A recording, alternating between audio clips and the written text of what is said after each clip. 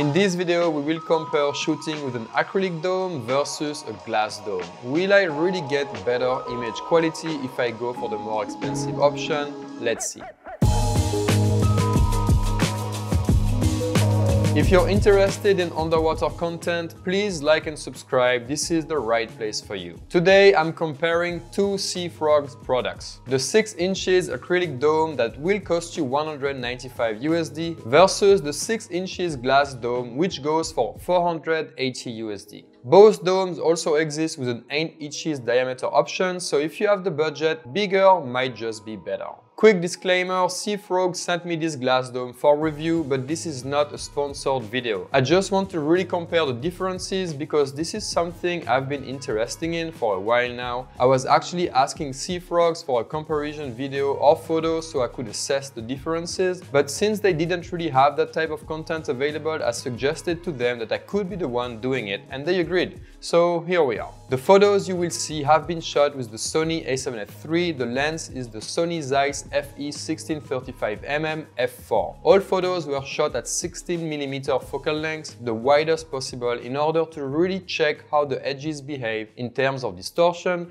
sharpness, and overall image quality. Here are the photos we will go through. As you can see, I shot these photos in a pool because it was easier to implement for a fair test, bright sky with natural light only, some clouds passing in front of the sun sometimes, but overall a fairly similar light situation in all of these shots. You will see that the camera settings are either identical or very close. I was always aiming at an exposure value reading 0, 0 in order to have a well exposed photo. All these photos are non-edited, straight from the camera, only converted from RAW to JPEG. Okay, now that these technicalities are out of the way, let's compare. On paper, here is what glass and acrylic domes are supposed to give you. Glass dome provides less distortion, less chromatic aberration, less softness on the edges of the frame, it's scratch resistant, I mean you can still have scratches but you really need to go hard on them for it to happen. Better durability over time, it's heavier and it's more expensive. When acrylic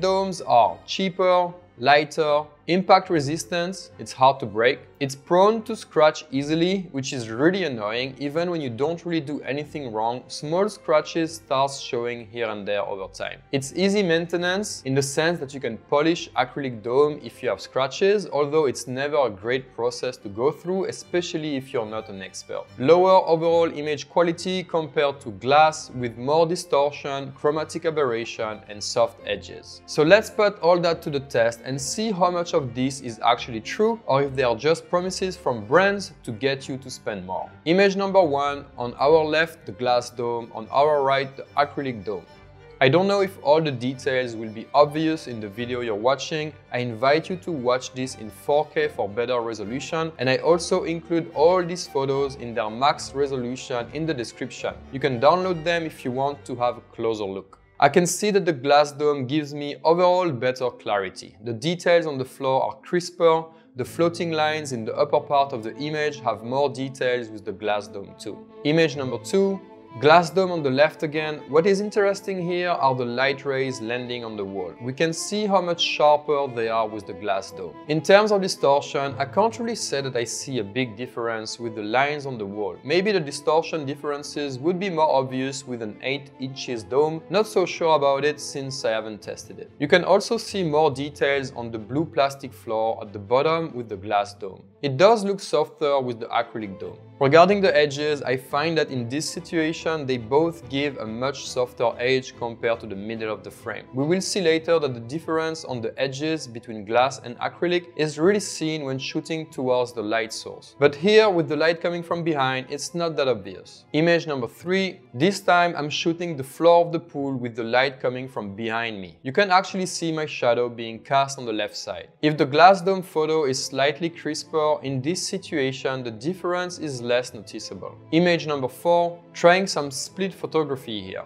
There are quite a lot of details on this photo, so let's zoom in to really see the differences. This is on the left edge of the frame. The focus point was on the moving flags, although when shooting at f9 and f10, a lot more still stays in focus. I think the difference speaks for itself. In a situation where you have a lot of details, everything is so much more sharper with the glass dome, especially the background elements with the blue tents and seats. And this was shot with the Sony a7 III that only has 12 megapixels for photos, which means it's not the best camera for photos crowded with small details. You just don't have enough pixels for great resolution when zooming in. And now the real star of the show with image number 5 shot against the light. The sun on the acrylic photo is behind a cloud, so it would be unfair to judge the quality of the light rays, even though with my experience shooting light rays with acrylic dome, I can tell you that the ones I see on the glass dome look really good, better than what I'm used to. If we zoom in on the floating line, we can really see how much sharper the elements are. Even the clarity of the water on the surface is so much better. And finally, the topic of chromatic aberration. These blue and red edges you get sometimes on some elements of your photos, especially when shooting against the lights like in this situation. Look at the flags above the water. The chromatic aberration of the acrylic dome is much more pronounced than with the glass dome, where it's barely noticeable. I wish I would have extra comparison with identical photos taken in the sea to share with you, but I don't have two exact same cameras, lenses and housings to shoot at the same time